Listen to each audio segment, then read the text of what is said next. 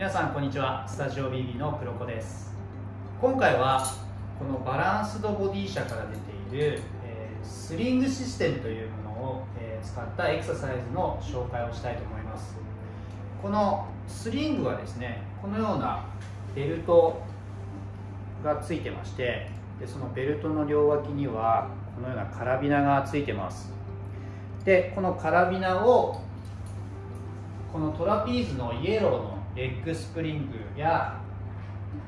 トラピーズのバーと合わせて、えー、使うことができます。で僕も普段のセッションの中でも使うんですけれども基本的にはマットのエクササイズのサポートとして、えー、使えるツールになってます。今回はその使い方をいくつか紹介していきたいと思います。サイドライングで行うようなエクササイズのニュートラルポジションを保つための使い方です。セッティングはイエローのレッグスプリングにそのままスリングを装着してます。ではこのままサイドラインの横向きですね。側外でやってもらいます。で第16骨と腸骨量ですね。骨盤とのちょうど間ぐらいにスリングを当てます。ここでニュートラルポジションを取ってもらったらその状態から例えばアップアンドダウンのようなエクササイズですね行います。このスリングがあることによって骨盤がのニュートラルがキープしやすくなります。特に下からこう引き上げる力によって左右の ASIS から第16骨の距離や上と下の骨盤の位置関係を保った状態で股関節の動きを出すことができます。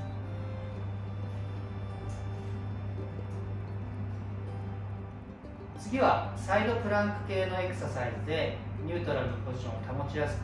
するための使い方です。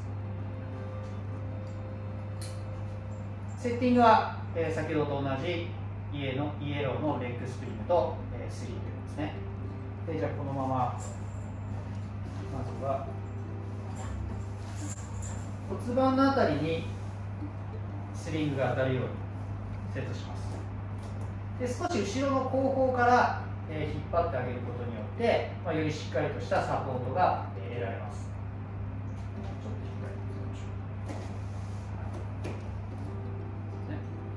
でここからまずじゃあサイドプランクのエクササイズですね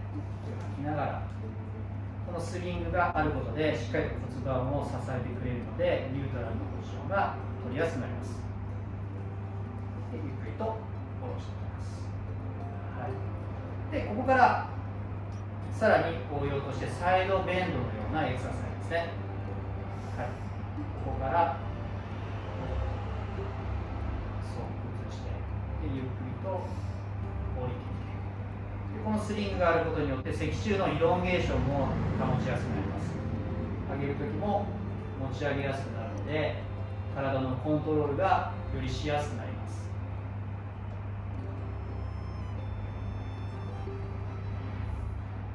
続いてはチェアのエクササイズと組み合わせて使う使い方を紹介します。チェアのトーソプレスバックやトーソツイストなどのエクササイズを行うときにこのスリングがあることによってすごくエクササイズがやりやすくなります。でまずトーソプレスバックから行います。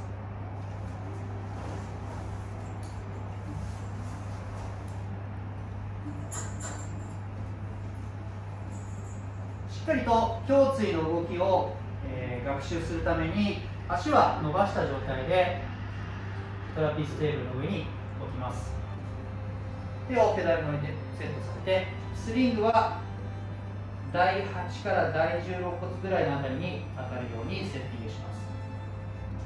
でこのまま息を吸いながらペダルを押して下がっていきます。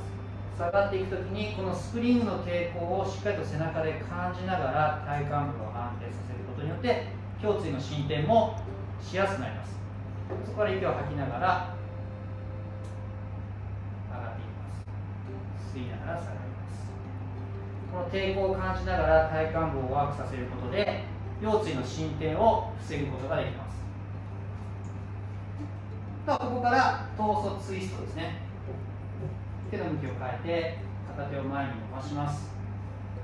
でそこから息を吸いながら回旋させつつ下ろしていきます。このスリングがあることで回旋させる方向軸がすごく分かりやすいです。で戻ってくる軸も、えー、分かりやすいですね。この抵抗があることによって体の側屈などが起きた時に本人としても、えー、感じやすいです。はい。皆さんいかがだったでしょうか、えー、このスリングシステムを使った、えー、エクササイズの紹介使い方を、えー、いくつか紹介しました、えー、このスリングバランスドボディで、え、確か55ドルぐらいで、え、買えると思います。あの興味のある方はぜひ買って使ってみてください。で他にも、え、いろんな使い方ができますので気になる方はぜひスタジオ BB にお越しください。お待ちしております。